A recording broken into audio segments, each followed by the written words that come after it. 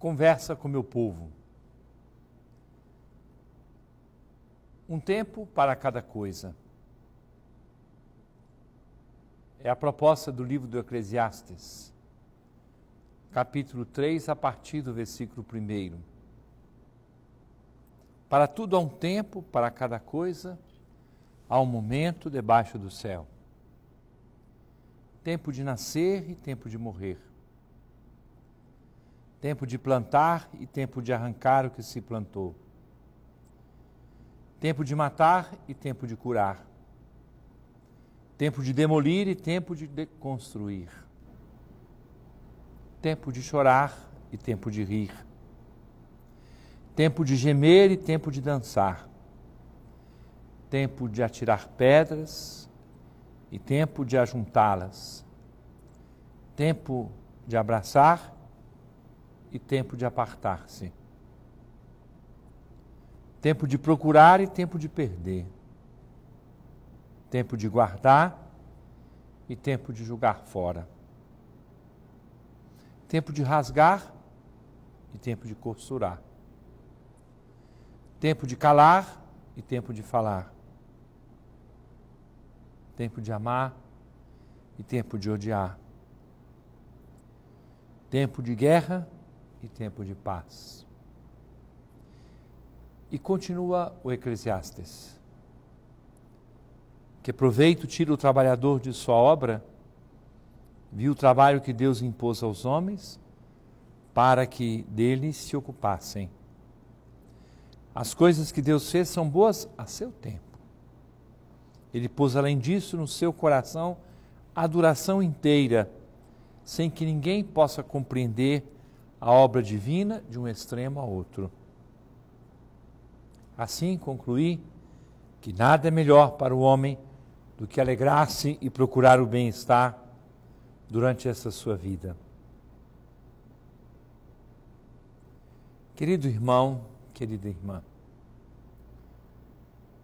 nós precisamos aprender a entender e a utilizar bem o nosso tempo. O tempo não é apenas uma questão de calendário ou, quem sabe, de relógio. O tempo é uma oportunidade privilegiada que Deus nos dá. O uso do tempo pela criança, pelo jovem, pelo adulto, pelo enfermo, por aquela pessoa no vício maior de sua saúde, o tempo é visto de uma forma diferente. Depende do coração com o qual nós vivemos todas as coisas. Nos últimos dias, o tempo tem sido objeto de minha reflexão e de várias formas tenho compartilhado com as pessoas. Tanto que, no último final de semana, no artigo que escrevi, eu tratei do tempo do descanso e do tempo do trabalho pensando um pouco em tantas e tantas pessoas que passam um período de férias durante esse mês de julho. Para alguns, férias escolares, outros, férias do trabalho. Vemos, por exemplo, os finais de semana, quando as pessoas saem das nossas cidades e vão para os lugares de, de descanso, de vilegiatura, e as pessoas querem descansar, as pessoas querem praticar esportes, as pessoas querem conviver umas com as outras, as famílias se encontram. E é bom aprender a usar bem esse tempo. Alguém me dizia, bastante impressionado, indo para uma região de praias do nosso estado do Pará, preocupado com o tanto que as pessoas fazem barulho ali à beira-mar. Parece uma concorrência de caixas de som, de aparelhos na maior altura e parece que a pessoa acaba mais irritada, repousa pouco, até porque não se percebeu que existe também o tempo para se calar, o tempo para fazer silêncio, o tempo para estar mais recolhido E por isso as pessoas ficam com medo medo do silêncio. Há poucos dias observava no aeroporto, enquanto aguardava o embarque de um avião, a quantidade de pessoas com seus aparelhinhos nos ouvidos, os seus fones, alguns fones até muito grandes, e cada um estava ali no seu ritmo, até se movimentavam essas pessoas e dava para perceber que escutavam música. E todo mundo fica com medo do silêncio, medo de ficar quieto. Você não sabe aproveitar o tempo adequado. Nosso Senhor observou que é, a cada tempo comporta um gesto, uma atitude. Ele usa uma expressão muito simpática: a cada dia basta o seu cuidado.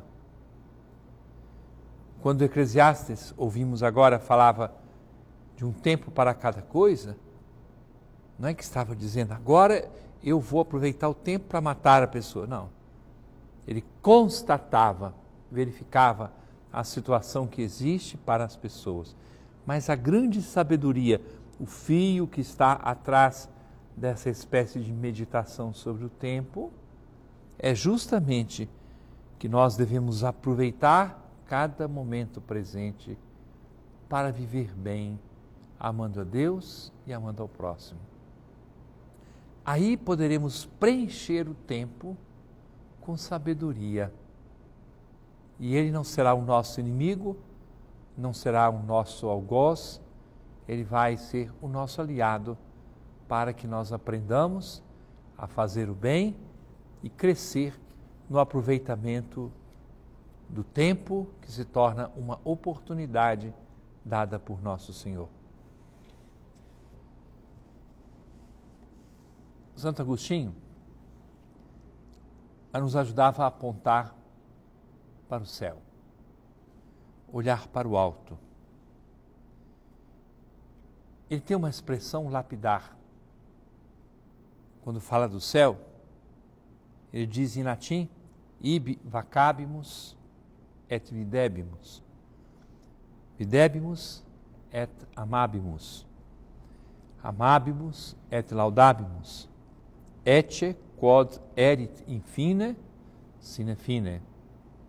A tradução. Ali, no céu, descansaremos e veremos. Veremos e amaremos. Amaremos e louvaremos Eis o que será um final sem fim. Eis o céu. Tomei essa afirmação de Santo Agostinho para tocar no assunto do descanso. Tempo para trabalhar, tempo para descansar. Descansar. O céu será o lugar de descanso de nossas fadigas aqui na terra, o final de semana bem utilizado, o dia do Senhor, dia do descanso, que a Sagrada Escritura já santificou e nós aprendemos também após a ressurreição de Jesus, a guardar não o sábado dos judeus, mas o primeiro dia da semana, domingo, dia do Senhor. O tempo de descanso no meio do trabalho são várias oportunidades, mais intensas, menos intensas, que o Senhor nos concede para que nós repousemos, para que descansemos. Merece descanso quem se aplica ao que faz, evitando a ociosidade e a preguiça. Aplicar-se significa ter o sentido dos deveres do próprio Estado, atenção ao bem que nos é possível fazer, significa não desperdiçar tempo no trabalho. Chegar ao final de um dia com um agradável cansaço depois de ter preenchido bem todas as oportunidades de encontro com as pessoas e ter contribuído para o bem da coletividade, já é fonte de repouso. Mais ainda será no ocaso de nossas vidas, quando nos apresentarmos diante do Senhor. Santo Agostinho ligava ao descanso a outras realidades que existirão no céu. No céu, nós veremos, encontraremos tudo que esperamos na fé durante esta vida, contemplaremos a face do Senhor. Até lá, o descanso do dia a dia ou das férias é também um tempo para contemplar a natureza, contemplar as pessoas, identificar o crescimento, por exemplo, a família, o crescimento dos filhos e demais familiares, enxergar detalhes que nos passam despercebidos no cotidiano da lida da vida. No céu, nós amaremos. E como é importante tomarmos consciência dessa responsabilidade. Depois da caminhada nesta terra, só levaremos o amor que ultrapassa as fronteiras entre o tempo e a eternidade. De fato, de São Paulo na carta aos Coríntios, o amor jamais acabará. Agora conheço apenas em parte, mas então conhecerei plenamente, como sou conhecido. Atualmente permanecem estas três, a fé, a esperança e o amor, mas a maior delas é o amor. E a única realidade que nós levaremos. Quem ama a Deus e ao próximo não se estressa, pois sente a alegria de fazer o bem, sente-se feliz. Quando repousamos, seja para amar mais e amar melhor, para que no dia seguinte ou depois do repouso, nós estejamos mais dispostos a construir o bem uns dos outros. Ao fazer férias, e este é tempo de férias para muitas pessoas, não seja esse o tempo de vícios, tempo de abusos, de desrespeito, mas um tempo de relacionamento digno e qualificado com as pessoas, e isso será fonte de um sadio relaxamento. Enfim, Santo Agostinho diz que no céu nós louvaremos. Que beleza! O ponto de partida de qualquer oração é o louvor, antes da ação de graças, do pedido de perdão ou da súplica. E será também o ponto de chegada na eternidade, onde proclamaremos para sempre os louvores de Deus. Aqui na terra, sabemos que Deus é glorificado no ser humano vivo, que experimentamos desde já um antegozo de eternidade, quando somos capazes de elevar expressões de louvor a Deus rezar louvando, cantar a glória de Deus, edificar as pessoas pela liturgia, pela oração bem celebrada e vivida, tudo isso é fonte de repouso em Deus. Tempo bem vivido, tempo de repouso, tempo de trabalho, tempo para amar, tempo para viver. Deus nos ajude a viver este período que nos é dado durante o mês de julho com dignidade, com respeito, com o valor que a nossa própria vida merece, pois ela é fruto do amor do próprio Deus. Permaneça conosco, daqui a pouco estamos de volta. Conversa com meu povo. Caríssimo irmão, caríssima irmã, eu agradeço muito a todas as pessoas que ontem, dia 6, participaram da Santa Missa na Catedral. Ordenei diáconos, dois seminaristas diocesanos, membros do movimento providentino de nossa arquidiocese, Adrique e Jorge. Deus abençoe a esses dois jovens diáconos que se preparam para serem sacerdotes no final do ano. E eu tive a oportunidade de louvar a Deus pelos 24 anos de minha ordenação episcopal, tomando consciência de que o tempo passa, começo agora esse ano jubilar, que vai se completar na celebração dos meus 25 anos de bispo no ano que vem. E eu conto com vocês para a oração, a fim de que nosso Senhor sustente, conduza a minha vida e o ministério que me foi confiado conto muito com essas orações de todo o meu povo. No domingo, tivemos a alegria da celebração da Santa Missa, do início assim oficial de funcionamento da Fazenda da Esperança Nossa Senhora de Nazaré, em Mosqueiro, aqui na nossa Arquidiocese de Belém. Estavam presentes Frei Hans e o Nelson, dois dos fundadores da Fazenda da Esperança, uma quantidade muito grande de pessoas que participaram conosco dessa celebração da Santa Missa no domingo. Muita chuva, muita alegria, muita convivência. Temos lá oito internos na Fazenda da Esperança que estão fazendo a sua caminhada de recuperação, de reintegração na sociedade a partir da experiência da evangelização. Eu tive a oportunidade de dizer às pessoas que ali se encontravam que até agora eu não tenho visto qualquer pessoa que diz não ao projeto da Fazenda da Esperança. Pessoas que querem ajudar, que estão dispostas a estar junto conosco. Agora, essa fase exigente, exigente, que é da construção das casas, conseguimos construir uma primeira casa, estamos agora na construção da segunda. Graças a Deus, as coisas estão se encaminhando. A resposta muito positiva de tantas e tantas pessoas, a fim de que esse projeto se implante, se torne autossustentável e assim nós possamos ajudar tantos irmãos que hoje já estão verdadeiramente numa fila querendo ir para a Fazenda da Esperança nós temos que ainda aguardar, porque não temos, por enquanto, o espaço para acolher todas as pessoas que nos procuram. Muito obrigado, Deus abençoe a todas as pessoas que estão colaborando generosamente conosco.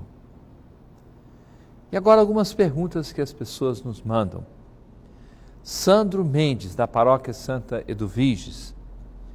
Qual é o papel de grupos de jovens no projeto do Reino de Deus? Escutei uma pessoa falando que a PJ é a melhor pastoral servindo a igreja. Isso é a verdade? Sandro, eu tenho muito receio quando alguém diz assim: pastoral A, B ou C é a melhor que existe. E aí, quando você conversa com alguém que é da pastoral catequética, ela acha que é a catequese só, o outro é da pastoral da juventude, o outro é, da pastoral juvenil, o outro é do setor juventude, o outro daí por diante, as várias pastorais. Não existe uma pastoral que seja a melhor servindo a igreja. Todas podem servir muito a igreja. Quanto à juventude, nós temos o que se chama setor juventude.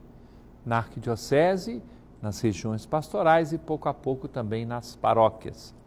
O setor juventude, ele agrupa as várias pastorais da juventude, agrupa os movimentos, comunidades e outros grupos que trabalham com a juventude.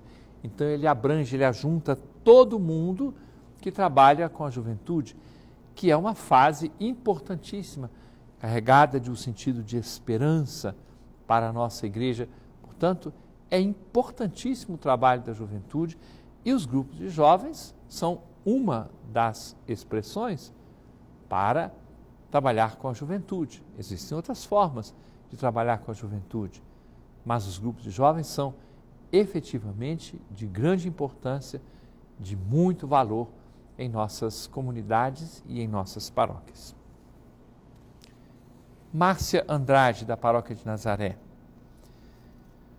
Os noticiários estão cheios de matérias sobre a corrupção o que nós e a igreja podemos fazer? Tais perguntas me fazem recordar um senhor que, nos meus anos de padre, eu fui atender. Ele estava no finalzinho de sua vida, efetivamente, morreu alguns minutos depois de conversar comigo. Família grande, muito pobre, e ele pediu para se confessar depois recebeu a Sagrada Unção e a Eucaristia, e me disse: Padre, chame aqui os meus filhos. Família grande, sete, oito filhos. E ele disse: Vocês sabem que eu estou para morrer. Eu quero entregar-lhes agora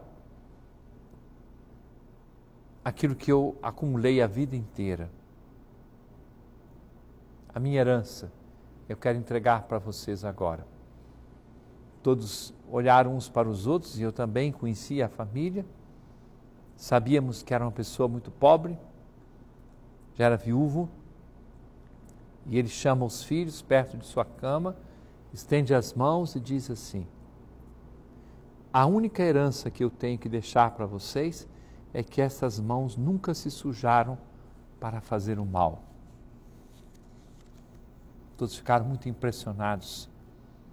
A herança que ele deixava era as suas mãos limpas. O que, que nós podemos fazer? Não nos comprometermos com a corrupção, com as nossas mãos, com a nossa palavra, com o nosso pensamento, com as nossas atitudes, de forma alguma.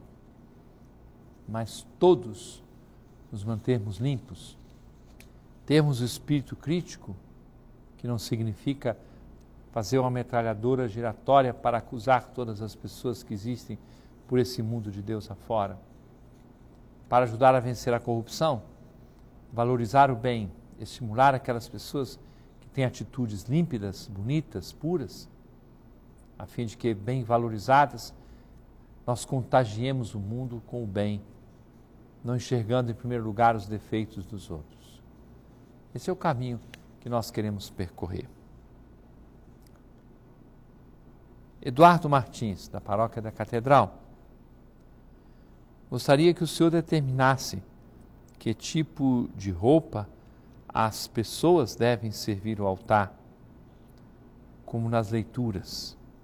Existe uma roupa específica? Eduardo, não necessariamente nós temos os paramentos litúrgicos, que são usados pelos ministros do altar, pelos sacerdotes, diáconos, o bispo. Mas eu sempre fico pensando se seria estritamente necessário colocar muitas roupas para todos os leitores, para todas as pessoas. Eu acho que a pessoa tem que estar vestida dignamente. Algumas paróquias gostam de usar uma espécie de uma bata, uma roupa e para, as, para os leitores. Não é estritamente necessário preferência pessoal, digo agora, eu até preferiria que as pessoas fossem vestidas como elas estão para, para a celebração da Santa Missa. O leigo, a leiga se vestem como tais, como leigos e leigas. Não precisa de clericalizar, de colocar vestes clericais nas pessoas que vão fazer uma leitura. Alguns lugares preferem colocar alguma veste, não vejo tantos problemas, mas não uma coisa que seja estritamente necessário. Márcia Souza, Paróquia de Cristo Rei. Questão delicada. Minha filha de seis anos me perguntou se era certo duas mulheres se beijarem na boca. Na hora me espantei e perguntei quem tinha falado isso.